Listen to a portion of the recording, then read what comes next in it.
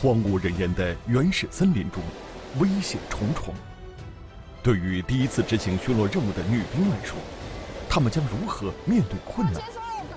两天一夜的勇闯丛林，她们又将怎样挑战极限、突破自我？军事纪实本期播出，《女兵巡逻记》。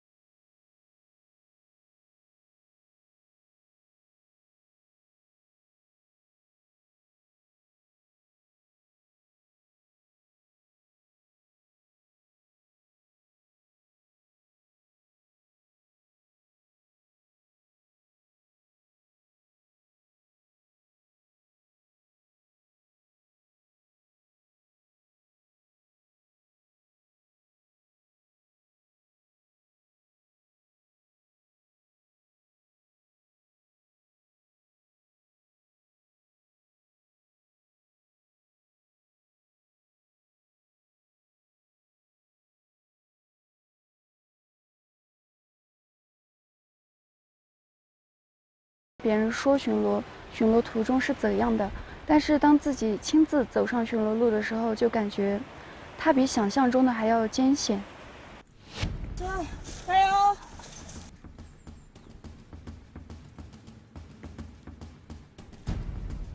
尽管踏上这条巡逻路之前，对于它的艰险，方凤霞早已经做好了心理准备，但她怎么也没有想到，真正走起来。比他预想中还要困难得多。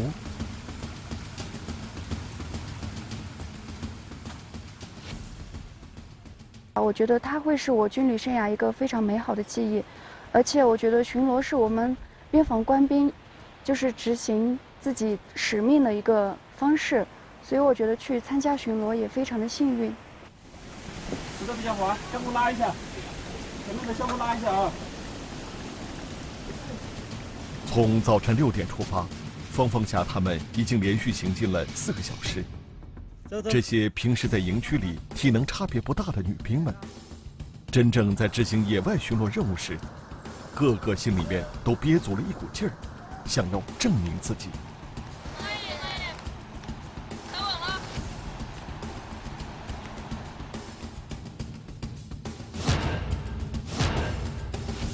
这是一处高度接近五十米的陡峭悬崖，崖壁边缘只有一只脚的宽度，勉强可以通过。巡逻官兵们必须把身体贴紧崖壁，扶着安全绳，小心翼翼地通过。慢点，慢点，两个手随时把绳子抓紧。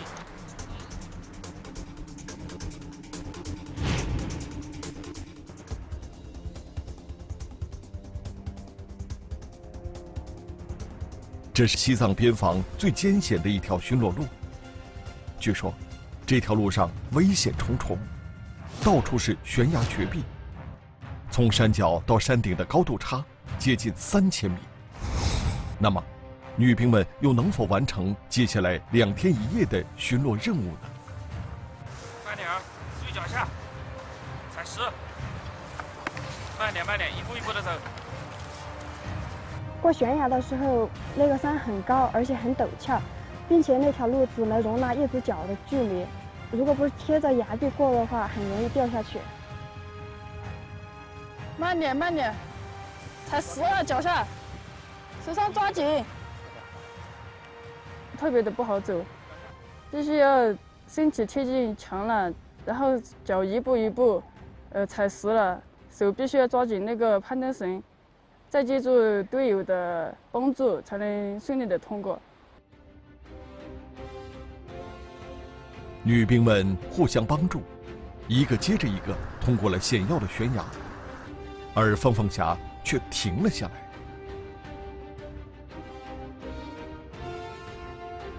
哦，不敢过，有点怕。不要害怕，不要紧张，心态一定要放平。踩实了，手上抓紧了，对面也有班长在帮你，没事啊，慢慢过，没事。来吧，别怕，你保护绳呢。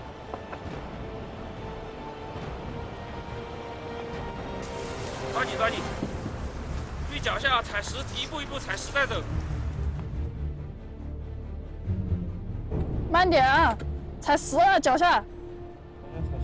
手上抓紧。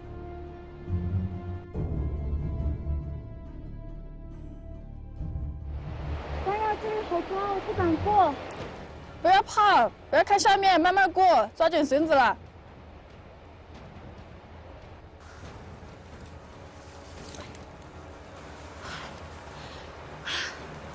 别怕别怕，不要看不要看下不要看下面不要看下面。哎呀，这里好高，我不敢过。其实没过之前我没有那么害怕，但是走到中间的时候，呃，我往下一看，真的特别的高，然后心里一直会担心会滑下去，所以就不敢过了。慢点慢点，手上把绳子抓紧啊，手上千万不要松。就感觉悬崖特别高，害怕不敢过去，就一直趴在悬崖边上。班长一直在后面鼓励着我，给我勇气继续走下去。哎呀，不敢过，好高啊！不要怕，不要看下面，慢慢过，手上抓紧了。在班长黄娟的鼓励下，方方霞渐渐克服了紧张的心理。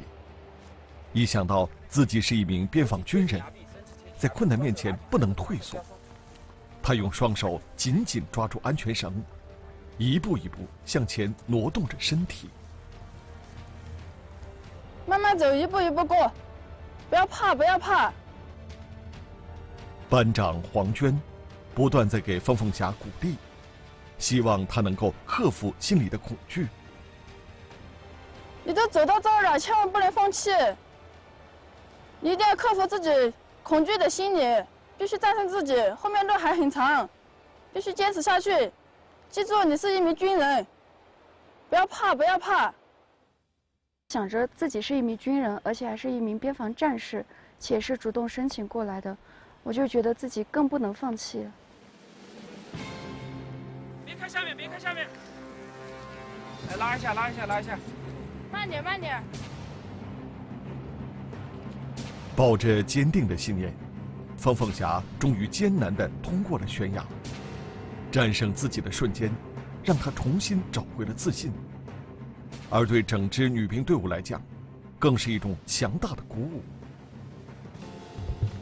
走，走走，慢点慢点。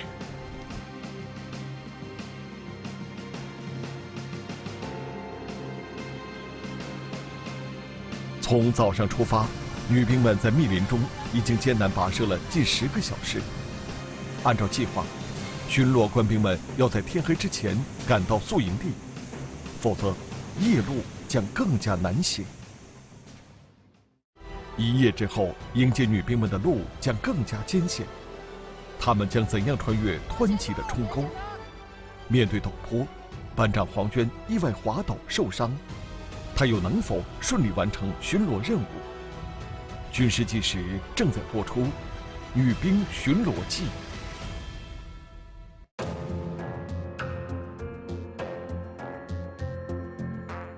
尽管体力已经接近透支，但女兵们却抱定了完成巡逻任务的决心。她们终于赶在天黑之前到达了宿营地。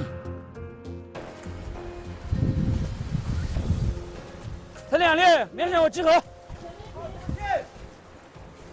扫兴！没有。同志们，我们已到达宿营地域。女兵跟我去找柴火。扎营和生火做饭，是他们此刻要解决的首要问题。多找一点，一会儿不够。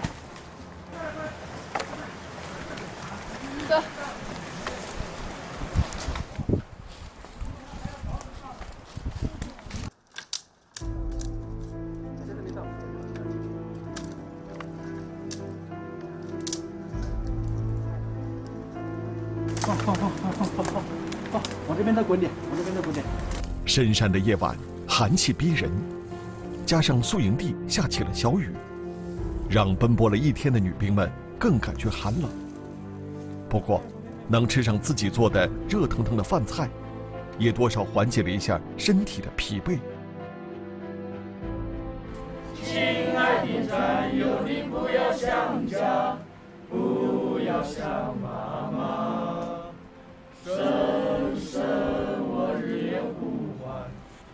多少句心里话。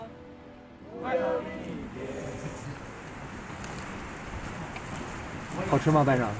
好吃啊。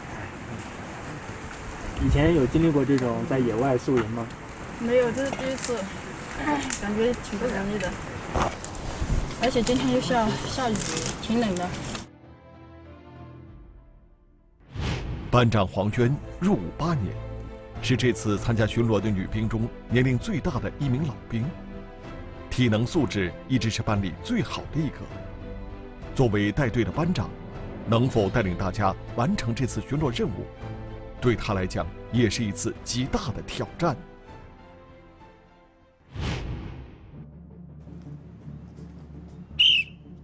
起床。为了给白天赶路留出更充足的时间，第二天一早，巡逻官兵们就已经开始收拾东西，准备出发了。对了，现在看前，向前跟。同志们，在接下来的巡逻路中，危险路段较多，而且路面湿滑，大家一定要相互帮助，不要掉队。各组随时。清点自己的人员武器装备，是否清楚？清楚。按原定行进序列出发。走走走，过来。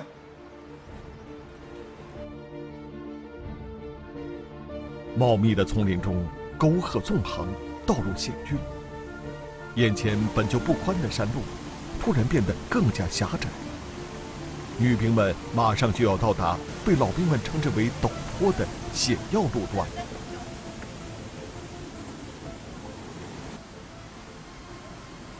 一会儿爬的时候，大家一定不要紧张啊，不要害怕，没事儿，就是那个石头上有点滑，脚踩稳了，然后手一定要抓紧绳子，不要担心，慢慢的看着点就行了。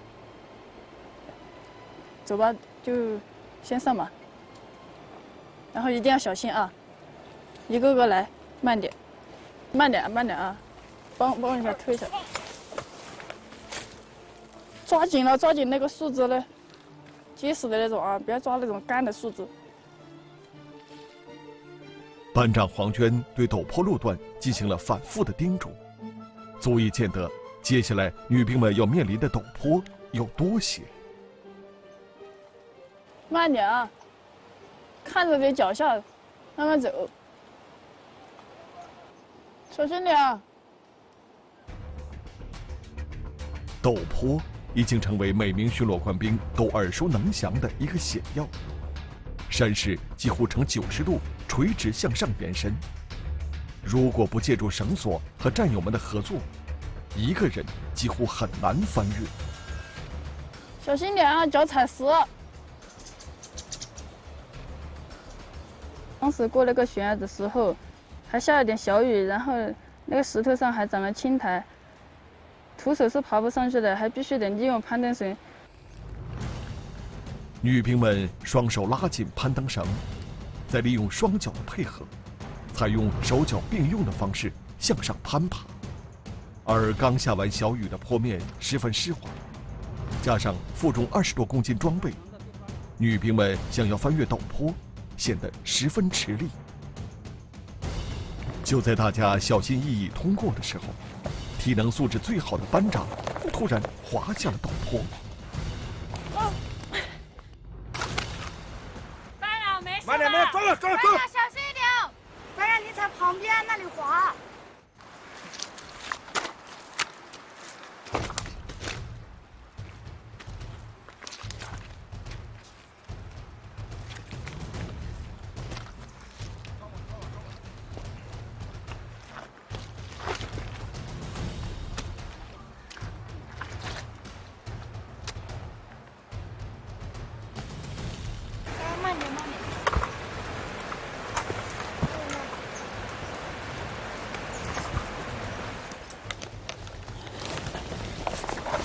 事吧？没事，没没事没事，膝盖也没有磕到，就磕到一点，没事不影响。来看一下。慢点没事没事。由于石头上长满了青苔，班长黄娟脚下意外的踩滑了。幸亏在滑落过程中一把抓住了绳子，才避免了一场意外的发生。班长，刚才我看你那个攀爬悬崖的时候，然后摔了一下，严重吗？对，腿还受伤了，因为刚才那悬崖太陡了，而且特别滑，然后手没抓稳，脚没踩没踩实，然后就摔下去了。我可以看一下你的伤吗？可以，是不是很疼呀？这个？挺疼的。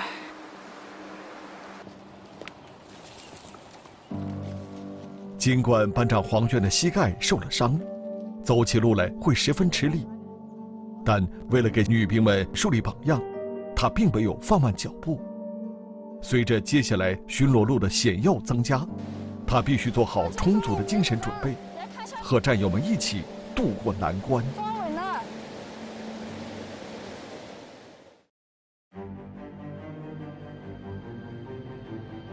五月的西藏正值雨季，水系丰富。随着河流水位的上涨，战士们巡逻时搭设的简易木桥已经被冲走。为了安全起见，官兵们决定重新搭建一座独木桥。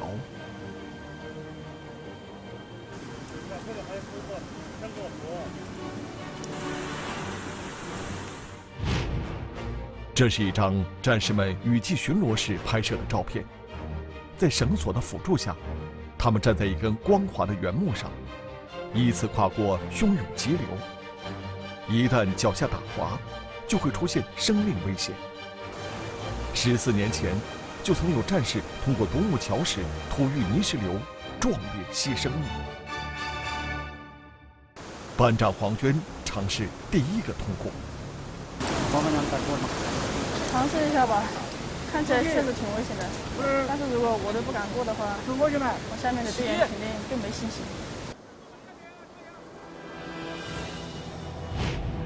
班长黄娟刚才在通过陡坡时，不小心滑落下来，摔伤了膝盖，现在却要第一个通过独木桥。所有人都在为他捏着一把汗，而黄娟已经做好了准备。试一下，这个。拉进来，我试一下，我看一下能不能走。啊我说我试一下，得行不？我试一下吧。试一下。不管是遇到什么危险的地方，不管是遇到什么事情，必须走在前面，必须给他们做个榜样。大家团结协作，然后一起把这个巡逻的任务完成。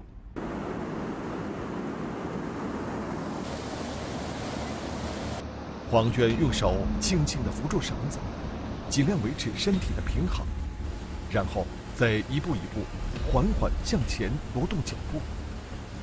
重心稍微不稳的话，就会直接摔进冲沟里。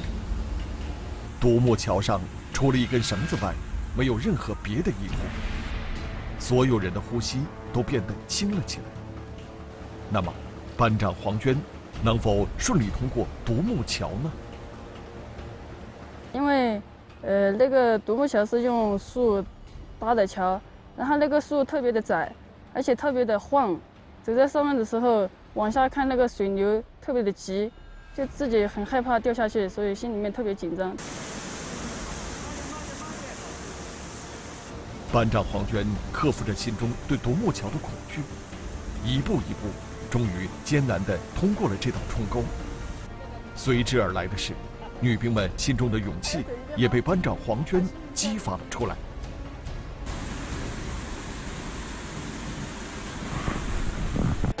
抓稳了，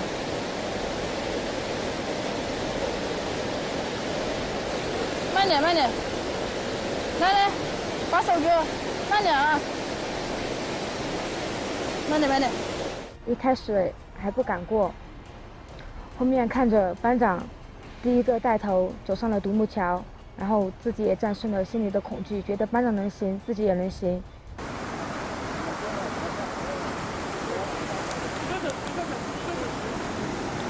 慢点，不要看下面，别紧张，慢慢走，抓紧了，手上抓紧了，马上快到了啊，放轻松。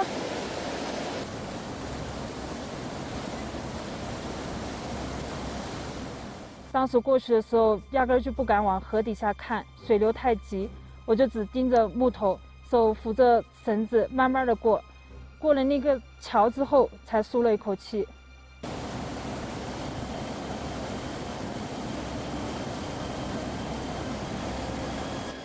在班长黄娟的指挥和鼓励下，女兵们一个接着一个通过了冲沟。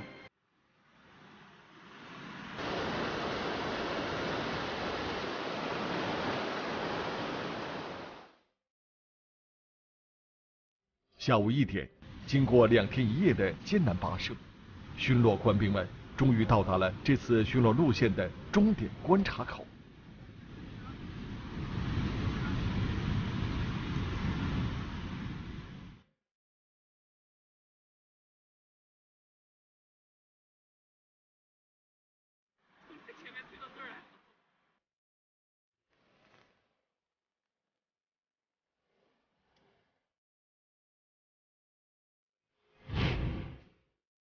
对他们来说，一路上不断克服艰险的过程，更让他们深刻体会到一名边防军人的神圣职责。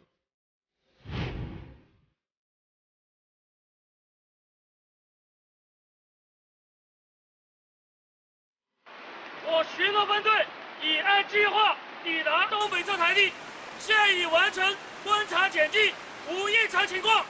我站立的地方是中国，请祖国放心，请人民放心。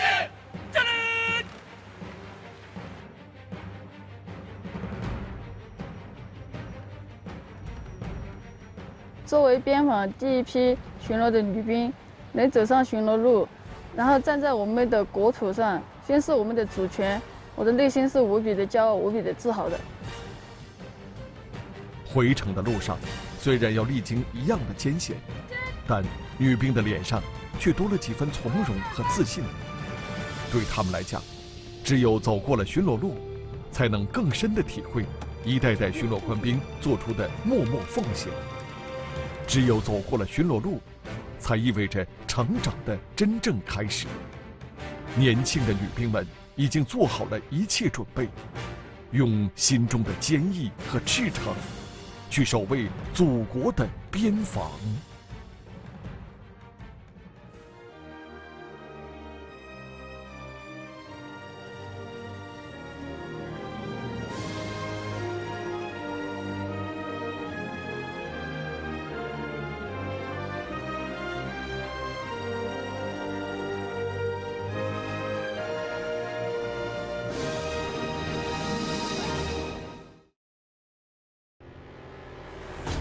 他是创下全军某新型导弹双发齐射纪录的老牌射手，他是刚刚斩获陆军防空骑兵比武第一名的新晋冠军。比武场上，他们如何激烈过招，实力比拼，谁又能取得最终的胜利？